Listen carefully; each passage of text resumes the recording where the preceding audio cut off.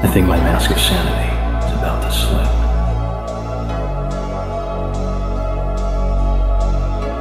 Something horrible is happening inside of me, and I don't know why. If you don't shut your fucking mouth, I will kill you.